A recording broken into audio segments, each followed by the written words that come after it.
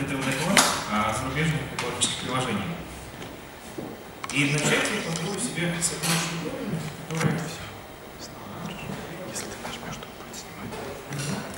которая проявила себя, на мой вкус, одной из самых интересных среди всех, что я не попался. PowerPoint меня уже немножко подвел, немножко текст съехал, но позвольте представить вам, тем не менее, Epiconnect. Он разработан в Imperial College London под эгидой фонда Logan Trust. И, собственно, чем он является? Это открытое бесплатное приложение и приложение для мобильных. Такой информационный комплекс, который предназначен для одной простой цели, для сбора типовой археологической, например, информации с привязкой какой-то геоточки. Это в целом очень похоже на то, как работает у Шахиди, только у Шахиди это в большей степени структурированное приложение, в смысле информация структурированная. В рамках эпиколлекта можно создать свой собственный тестовый проект, совершенно бесплатно, и в несколько кликов, э, и проект начинается с того, что мы создаем форму. Форма — это некий произвольный набор полей, текст э, или числовых, или из нескольких пунктов выбора.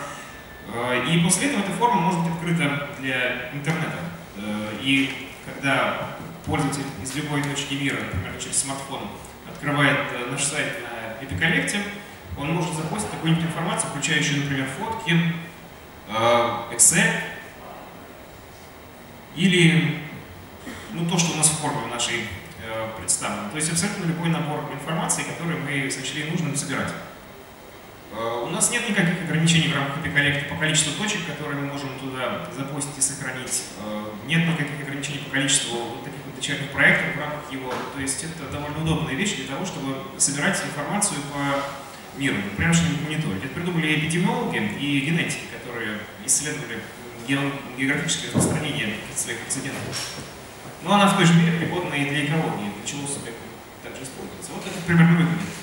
Э, вот так мы создаем форму, которая может состоять из некоторого количества полей, совершенно обыкновенных, вот так происходит работа с картой. Замечу в скобках, что э, эта работа с картой, вот фотка там уже какая-то есть, э, она также обрастает небольшими приятными фишками в духе Google чата. То есть оператор, который собирает данные на местах, где-нибудь там, ну, в лесу, скажем, в заповеднике, кто-то использует, он может э, с успехом общаться с своими собратьями с помощью чата. Вот, собственно, вот немножко подробнее об этом. Э, этот проект удобно использовать для того, чтобы ну, собирать любую типовую геоинформацию. Кому оно может быть пригодно? Любому, кому информацию на местах нужно собирать.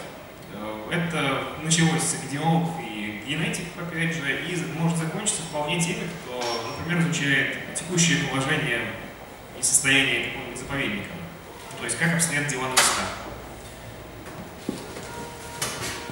Ну и пару слов технологий с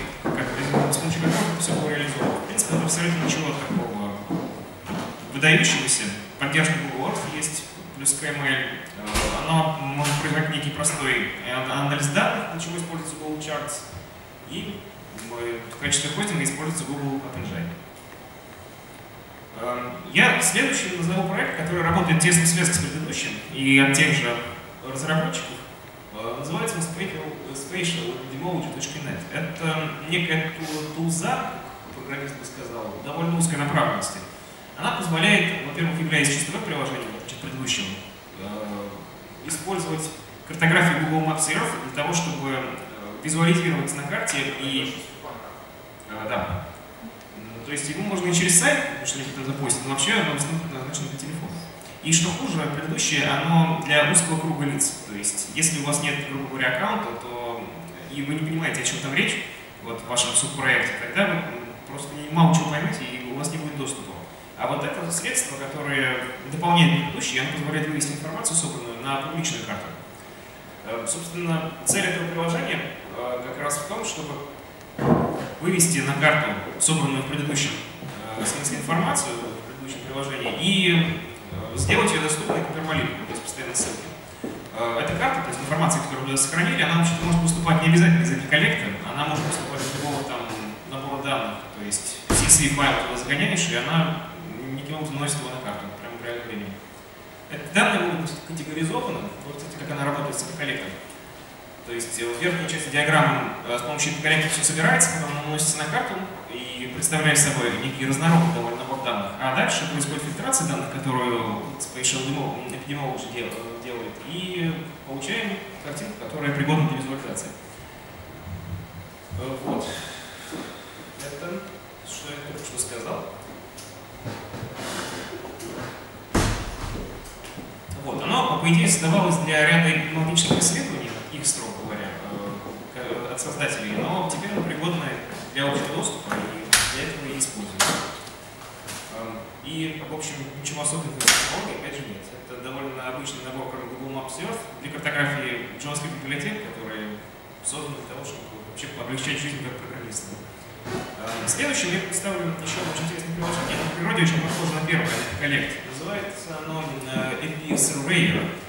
Э, для той же цели оно приспособлено э, и отличается от предыдущего разве тем, что гораздо более гибко в настройках форм данных. То есть вот эта форма, которую я упомянул, здесь может включать в себя не просто один набор полей, а последовательность целых вопросов, причем с линейной логикой. То есть, грубо говоря, вы, если ответили на один из вопросов, первый, скажем, каким-то одним образом, у вас второй может быть одним, а может быть и другим. Э, то есть опросник получается гораздо более гибким. В остальном оно довольно сходно с эпиколлектором в том смысле, что у вас есть некая форма, которую вы настраиваете, она доступна через интернет или через мобильное приложение, и вы можете постить данные с геоточкой. Вот как это примерно выглядит. Э, здесь веб-интерфейс на Unix на сайте для того, чтобы э, просматривать собранные данные. Как можно видеть, довольно большой набор атрибутов этих э, точек. Это вот такая довольно сложная форма у нас. Дальше она производит некую простую обработку данных, что видно на верхнем э, рисунке, ну или нижнем рисунке. Вот, так происходит настройка этой формы. И так это выглядит все нанесено на карту. Здесь э, чата нет, есть много очень интересного. Э, чего оно используется кем? Оно используется любой государственной коммерческой организацией, которая может быть заинтересована в том, чтобы производить опросы на местах. Э, Поскольку здесь довольно гибкие формы, это с успехом применяется многими довольно организациями самых разных уровней и направленностей. World Bank, YMO, которые с помощью уже откровенно э, экологической задачи решали, они мониторили качество воды в различных местах. Ну и другие, опять же, из-за PowerPoint и разрешения не влезает. Эм, оно в целом было бесплатно, кстати. Э, я не помню, насколько в целом, но при прочих равных точно бесплатно. Вот. И никаких особых технологий, опять же, здесь ничего. Нет. Э, дальше э, довольно интересное приложение, которое я, признаться, раздумывал, включить в этот доклад или нет, но оно, безусловно, экологическое, и, безусловно, есть там веб-аспект, так что все-таки упомяну его. Возможно, кому-то из вас уже известно. Э, называется оно CMSI. CMS — это довольно популярная веб-аббревиатура, но здесь она означает немножко не то. Conservation Management System. Она разработана НКО, который называется, собственно, CMS Consortium, и в сотрудничестве с ним э, компания Exegesis.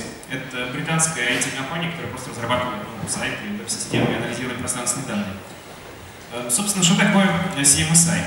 Это приложение, которое является собой миниатюрную ERP-систему для управления не каким-нибудь обыкновенным предприятием, а для управления специально чем-то таким экологическим, как заповедника или любой другой охраняемой зоны природного объекта. То есть э, всем же э, предприятиям, которые включаются в офисную работу, планирование, и построение отчетов, и управление кадрами, скажем, известная проблема, когда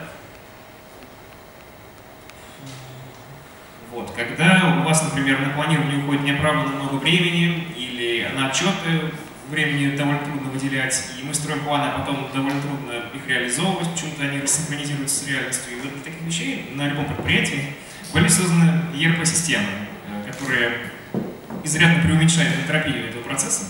И вот эта ERP-система не очень большая, по объему это скорее хорошо, э, которая предназначена для управления строго экологическим каким-то объектом. Э, она работает, в принципе, как любая ERP, то есть там есть авторизация сотрудников, личный кабинет какой-то, и в зависимости от нее некие функции, которые вам доступны. Довольно либерально она к своим сотрудникам, то есть по умолчанию там э, вся информация по заповеднику доступна каждому, но только на чтение. Там, если вы как-то с ней работать, изменять, удалять и прочее, там, скажем, отчет какой-то интересный построить, тогда вы должны иметь уровень доступа определенно. Э, вот как она примерно выглядит. Это рабочий кабинет сотрудника. Тут, в общем, ничего особо интересного, просто какая-то информация и работа с формой. А вот нечто более интересное. Там есть встроенный модуль картографии, который довольно неплохо работает. Он интегрируется с рядом GIS популярных, например, ArcGIS и MapInfo. И, кроме того, есть еще модуль, который отвечает за медиа. Вот, например, фотографии. В смысле технологий, но особо подчеркнуть нечего. Там довольно стандартная клиент-серверная технология. Клиентские модули будут бинарными, инсталируемые, и серверная часть — это некий веб-сервер, подразумевается. Э, кроме... Я просто хотел высказать пару слов о технологии, потому что было указание, что Угу. Я замечу в скобках... Угу. Хорошо. Э, это приложение работает как большинство приложений Windows. То есть оно инсталируется у вас на компьютере, и после этого ему нужен интернет для того, чтобы отправлять информацию куда-то, на свой сервер. Э, замечу в скобках, что этот сервер может быть не только у вас в организации. За определенную плату можно его расположить у них же, в Genesis, то есть тех, кто продает эту программу. Э, это довольно удобно в смысле ее обслуживания. Это уже программа, кстати, откровенно платная, но стоит она там как-то разумно. С ним можно договориться в смысле размаха вашей компании и количества сотрудников, там есть ряд год. Эм, следующим я назову Web Ecology. Это не то, что прям особо веб и особо экологическое приложение, но название как бы намекает.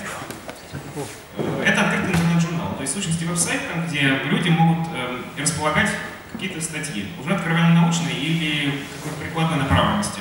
Э, статьи на экологические тематики, сплошь. Э, потом это вполне себе интернет-издание и даже обладающее некой внутренней движухой и собственной редакционной издательской группы, которая э, анализирует всю информацию, как-то правит, принимает или нет. И оно обладает таким образом довольно порядочным авторитетом, э, по крайней мере, среди европейских экологов. Это также форум обсуждения результатов исследований. Доступ ко всем статьям открытый, и регулярно они выпускают вполне нормальные номера, то есть как журнал себе самый обыкновенный. Он э, обладает неким авторитетом, про это я уже сказал, э, и кому может быть полезен. Если ваша организация выполняет некие исследования, которые хотела бы обнародовать, которым хотела бы привлечь внимание, там, скажем, научного мира, и это на тему экологии, тогда вы можете использовать Web Ecology. Ну и в смысле технологий сказать, опять же, особо нечем, сайт как сайт. И последним приложением, которое я бы хотел представить, э, является довольно интересная штука, которая называется MCZ Project Interactive Map. Он разработан э, рядом вот этих вот организаций, это как бы дочерние его проекты, ну или не дочерние, а родительские. И что он собой представляет? Это интерактивная карта, по сути WebGIS, которая э, черпает данные из дочерних баз данных и предназначена она для работы с морскими ресурсами и со всем, что они могут подразумевать в Великобритании. Э, каждая из организаций, четырех дочерних, она а, занимается каким-то своим делом, связанным с экологией по морям. Ну, например, э, мониторит различные виды или э, поддерживает, там, скажем, безопасность определенной охраняемой зоны, браконьеров каких-нибудь. И их деятельность совокупная может визуализироваться здесь с помощью одной единственной карты. Э, эта карта оснащена довольно э, гибкой системой фильтров, которые, на которой э, можно выбрать там много чего, что вас может интересовать. Собственно, там есть все, что подразумевает, во-первых, морские ресурсы Великобритании, во-вторых, ну, то, как их используют люди. То есть там, кроме прочего, вот, кстати, выглядит карта с фильтрами. То есть там, кроме неких редких видов, скажем, или охраняемых морских зон, там можно увидеть просто государственные границы Великобритании и прочее. Как выглядит эта карта, вот наверх рисунки с применением таких-то фильтров. И довольно забавный э, факт, довольно забавный, э, то, что любой пользователь может, в общем, запустить, опять же, информацию на эту карту. Она не прямо сразу на карту пойдет в шахите, а она э, будет рассмотрена подавающей организацией, потому как эта информация, безусловно, должна иметь некую геопривязку, то есть точка на карте. И та организация, которая этим занимается, она рассмотрит, если надо подтвердит и вынесет на эту карту. У них довольно много статистики, и в целом это довольно полезный проект. Ну, собственно, он может быть полезным, как я сказал, любым людям, которые имеют дело с морем. Дайверы, э, те, кто коммерческой рыбной занимается, прочее. В смысле технологий, опять же, сказать особо нечего. Ну, веб-карты, которые сейчас реализуются на многих сайтах, они построены в точности с этим построем. Спасибо.